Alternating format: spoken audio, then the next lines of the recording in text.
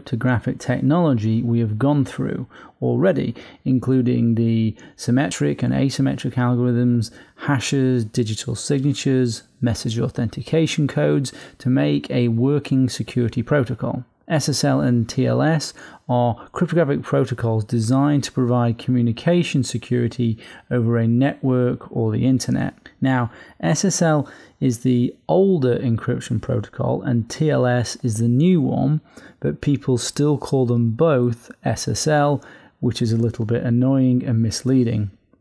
Many sites still use the older SSL for compatibility reasons, though, even though it has security issues. An example of TLS use is when you see HTTPS in the URL of a website, such as here. But TLS can be used with any other protocol like FTP or virtual private networks.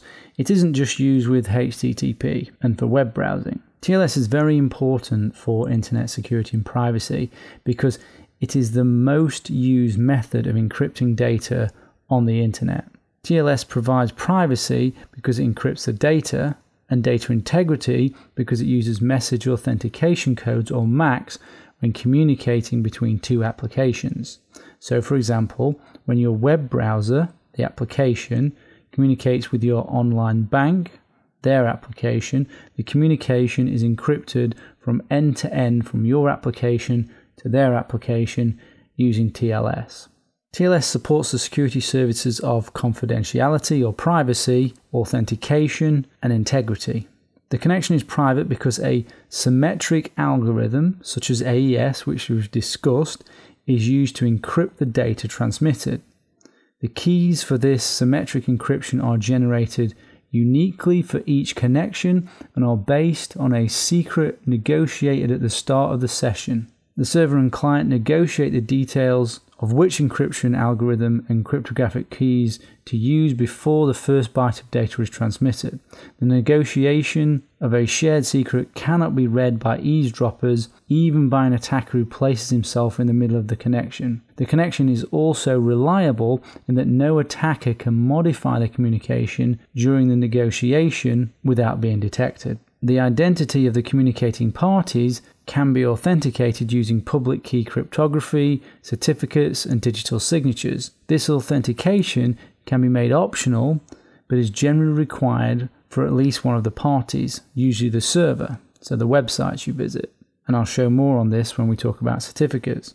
The connection is reliable because each message transmitted includes a message integrity check using a message authentication code or MAC to prevent undetected loss or alteration of the data during transmission. TLS supports many different methods for exchanging keys, encrypting data, and authenticating message integrity, many of the algorithms and technologies which we've already discussed. As a result, though, secure configuration of TLS involves many configurable parameters, and not all choices provide the security services of privacy, authentication, and integrity. Now, if we look on the Wikipedia site for transport layer security, which is actually a brilliant site for describing TLS, we can see the various different supported methods for exchanging keys, encrypting data, and authenticating message integrity. And the first one here is, is showing us authentication and exchanging of keys and the various different algorithms that are supported. Now, if you remember back to the asymmetric algorithms that we discussed, that's these. So we can see RSA, we can see Diffie-Hellman, RSA, elliptical curve, etc. Now, the best ones to use are this one, this one, and this one. But the problem is you don't always get a choice. A server will support certain authentication and key agreement methods, and if you want to speak to them, then you'll have to use those.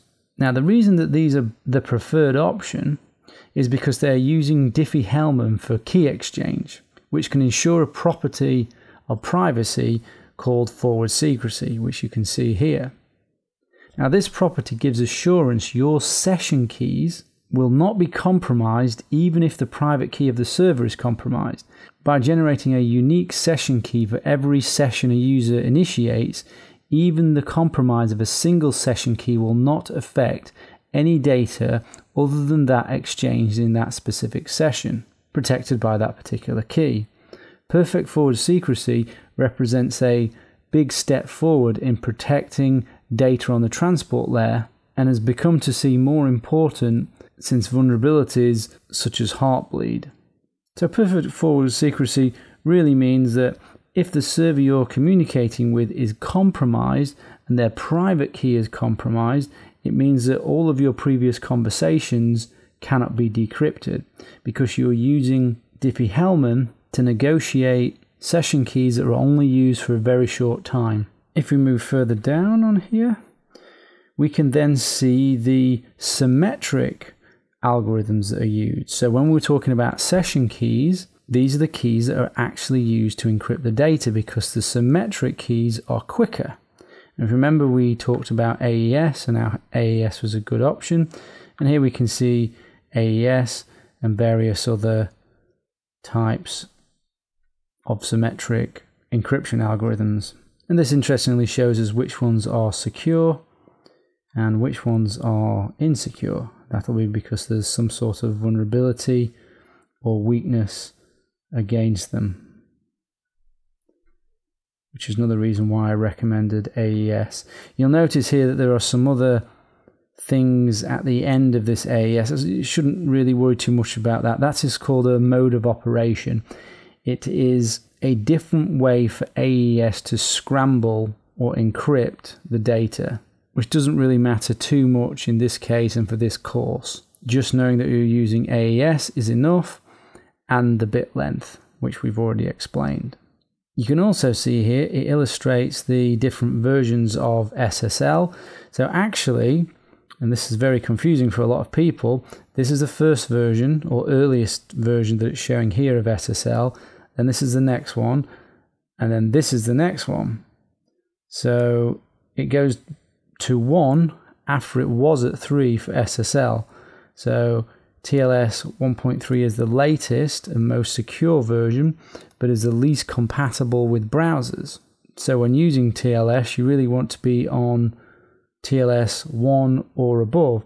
And as you can see here, you, you can see which one of these is secure or not secure. And you can see here, even with AES, you've got depends on mitigations if you're using TLS 1. Let's come down a little bit further.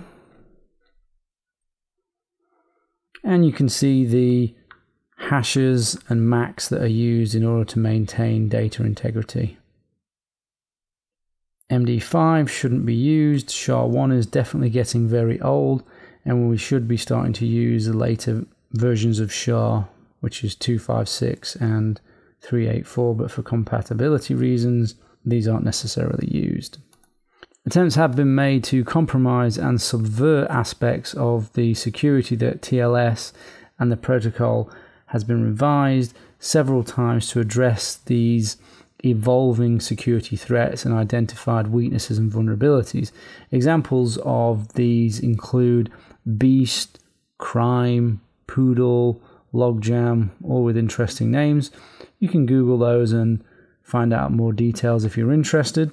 But the result has been that browsers and the server implementations of SSL have had to be upgraded by the developers in order to keep up with the attacks and to defend against these vulnerabilities.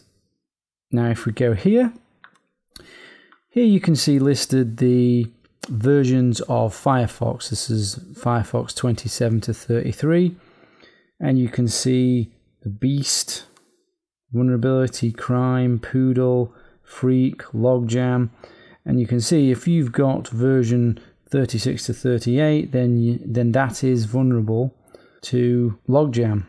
And if you get older and older versions, you'll see that they become uh, more and more susceptible to various weaknesses and vulnerabilities, which is why you should be on the latest version of your browser where possible. And the servers or sites that you connect to also need to be on the latest versions. Now, the thing is, you can't necessarily control that. But the thing is, if you need privacy, you need extreme privacy, and you know that your server is not supporting or is vulnerable to some of these things because maybe it's using just SSL 1, then you know that you can't communicate with that, not in a secure and private way. The combination of algorithms used is known as a cipher suite. It is useful to know what are both the strongest and most compatible cipher suites. So Instead of giving you a list, I'm going to point you at resources that you can use instead.